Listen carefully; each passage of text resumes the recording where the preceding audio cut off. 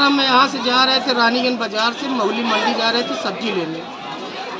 तो हमें रास्ते में जो है ओवरटेक करके टार्च का इशारा दे के हमारी टेंपू डाला को रोका गया। रोकने के बाद वो लोग उतरे, बोले, हम पुलिस वाले हैं, आपकी तलाशी लेंगे। तलाशी लेने के बाद जो है गाड़ी में उन्हें कुछ नहीं मिला।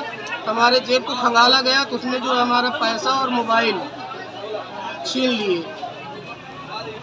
और हमारे जेब में पैंतीस हज़ार रुपये था प्लस मोबाइल मेरे हाथ में पकड़ा दिए और उसके बाद हमारे साथी का जो है दस हज़ार रुपये उनका भी छीन लिए। यही हादसा हमारे साथी के साथ हुआ। इसकी शिकायत आपने थाने पर की थी? हाँ सर हमने थाने पर की थी। क्या कार्रवाई हुई?